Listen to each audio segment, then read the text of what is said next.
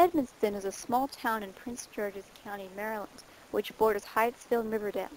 It has a history of flooding that dates back as far as the 1940s. I just remember it was frequent. Every hard rain would cause a flood, and then uh, days of rain would cause big floods. When we were kids, of course, we loved it.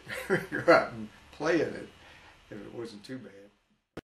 In the 1950s, the Army Corps of Engineers built two water pumps in a system of levees that border the Anacostia River.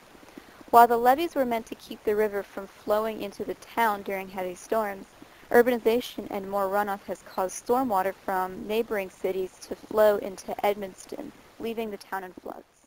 That's the biggest problem. The run, the runoff from building, from new highways, it's just all coming down the pike and we get it.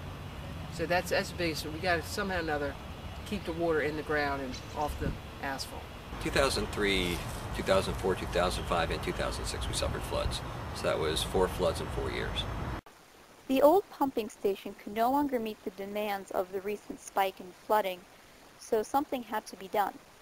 With some lobbying from the town of Edmonston, Prince George's County stepped in to fund a new $6 million pumping station to be placed right next to the old one. So the department undertook a study, and coincidentally, with the timing of the study, the problems in New Orleans happened.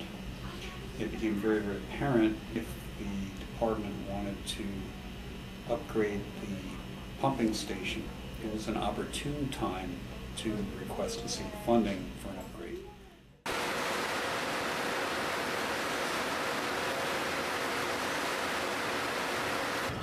We're standing at the site of the Archimedes screw pumps, which were installed at the end of 2007 to combat flooding in the town.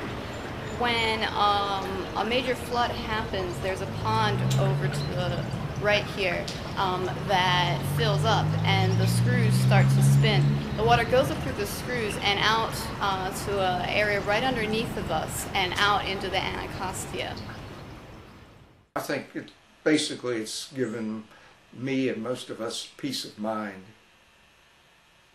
And when it rains now, so what? We're safe.